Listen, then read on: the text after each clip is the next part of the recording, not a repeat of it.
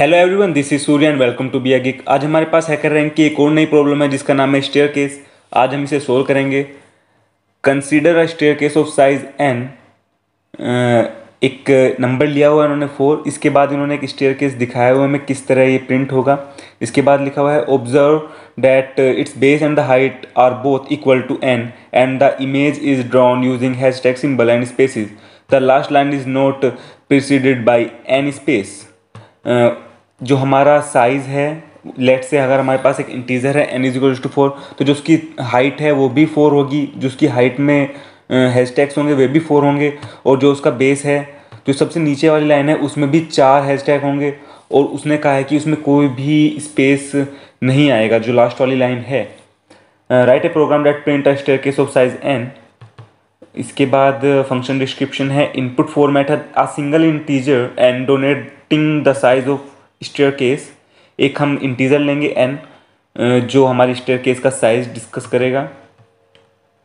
और इसके बाद आउटपुट फॉर्मेट है print staircase of size N using hashtag symbol and spaces the इसके बाद एक नोट भी है the last line must have zero space in it okay इन्होंने एक एग्ज़ाम्पल दिया हुआ है लेट से एक नंबर है सिक्स इसके बाद हम देखते हैं कि कैसे कैसे वर्क किया हुआ उन्होंने। जो हमारा पहली लाइन है फ़र्स्ट लाइन में अगर लेट से एक नंबर सिक्स है तो हमें पहली बात तो सिक्स लाइन हमें आउटपुट करानी ही पड़ेंगी क्योंकि उसकी हाइट भी नम, जितना हमारा नंबर है उसके इक्वल ही होगी।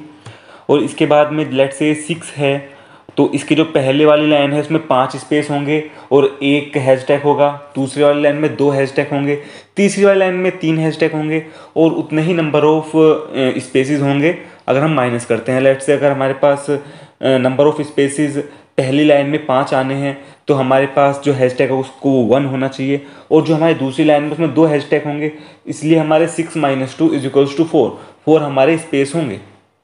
बेसिकली हमें स्पेस प्रिंट कराना है, उसके बाद हमें अपना हैशटैग प्रिंट कराना है।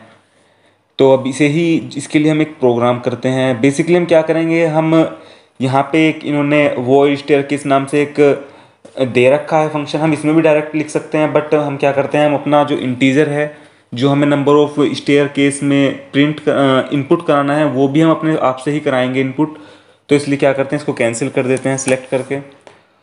और मैं थोड़ा इसे बड़ा कर देता हूँ। इसके बाद सबसे पहले हम अपनी हेडर फ़ाइल इंक्लूड कराएँगे hash tag include S T D I O dot H इसके बाद अपना मेन फ़ंक्शन होगा इंट मेन इसके बाद सबसे पहले हमारे पास एक इंटीजर लेंगे एन जिसमें हमारे पास नंबर रहेंगी, कितने हमें नंबर कितनी स्टेयर केस साइज़ की हमें प्रिंट करानी है, कितनी साइज़ होगा हमारे स्टेयर केस का। इसके बाद हम इसे स्कैन करा लेते हैं। Scan F percentile D address operator N हमने यहाँ से एन में एक इंटीज़र की वैल्यू डाल दी है। इसके बाद हम क्या करेंगे? हम फोर लूप लगाएँगे। और हम एक इंटीज़र ले लेते हैं, यहाँ पे ही N is equals to G one ले लेते हैं। अब हम यहाँ पे क्या करेंगे?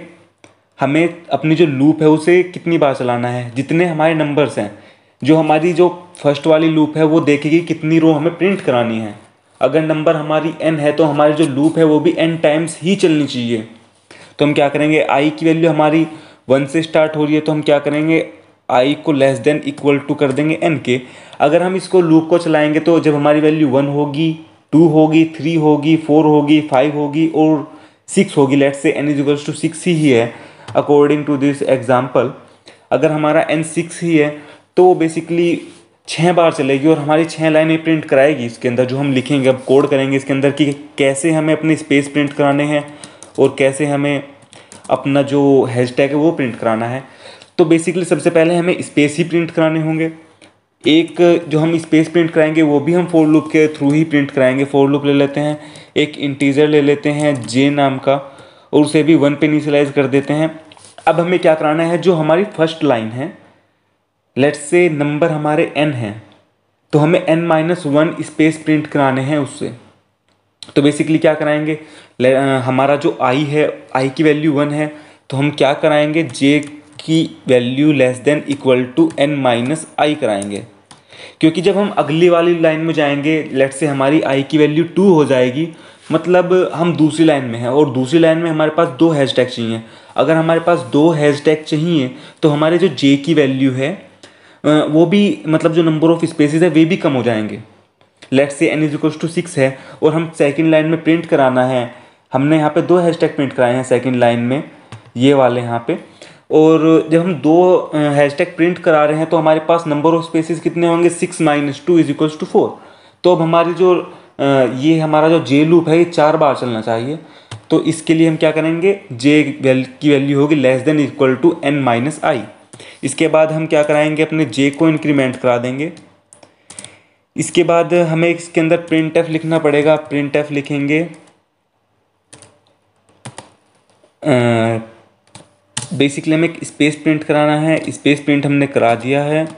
इसके बाद में हमें एक और फूल फोर लूप लगाने हैं, जिससे हम प्रिंट कराएँगे अपने हैश टैग्स कि हमारे पास कितने हैश टैग हैं।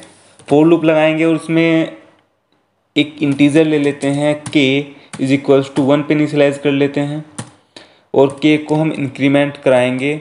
बट हमें इसमें इंक्रीमेंट कराने से पहले एक कंडीशन लगानी होगी। वो कंडीशन क्या होगी? जितने हमारी आई की वैल्यू है, उतनी ही हमारी के की वैल्यू होगी। अगर हम हम पहली लाइन में हैं तो हमें अपना पहला एक ही हैशटैग प्रिंट कराना है। अगर हम फ़र्स्ट लाइन में तो हमें एक हैशटैग प्रिंट कराना है। अगर हम दूसरी लाइन में हैं तो हमें दो हैशटैग प्रिंट कराने हैं। तो के की वैल्यू हमारी आई तक चलेगी, जितनी हमारी आई की वैल्यू है। तो हम लिखेंगे के की वैल्यू होगी less than equals to I and हमारा जो ये फोर लूप की कंडीशन है, ये भी क्लियर हो गई है। इसके बाद हम प्रिंट एफ़ लगाएँगे। और हमें इसमें क्या प्रिंट कराना है? अपना हैशटैग अब इतना वर्क कंप्लीट हो गया है बट एक वर्क और रह गया है इसमें, क्योंकि जब हम इस लूप से निकलेंगे तो हमें एक लाइन भी चेंज करानी पड़ेगी। अगर हम यहाँ पे हमने हैशटैग पे अपना स्पेस प्रिंट करा दिया इस लूप से, इससे हमने हैशटैग प्रिंट करा दिया अपना बट इसके बाद हमें एक लाइन भी चेंज करानी पड़ेगी तो हम एक लाइन चेंज के लिए भी लिख लेते हैं प्रिंट एफ़ और बैक स्लैश एन ये हमारा लाइन चेंज कराता है। ओबियसली हम यहाँ पे अपने कर्ली ब्रेसिस भी यूज़ कर सकते थे अगर हम करना चाहते। बट हमारे पास सिंगल लाइन है तो इसलिए हम कर्ली ब्रेसिस को स्किप भी कर सकते हैं। अगर हम यहाँ पे भी यूज़ कर सकते हैं और इसके बाद यहाँ पे भी हम एक कर्ली ब्रेसिस लगा सकते हैं। बेसिकली अगर हम कर्ली ब्रेसिस ना भी लगाते तो फिर ये फोर लूप है, वो अपने जो नेक्स्ट वाली लाइन है वही लूप में आती वही लूप में कंसिडर करता।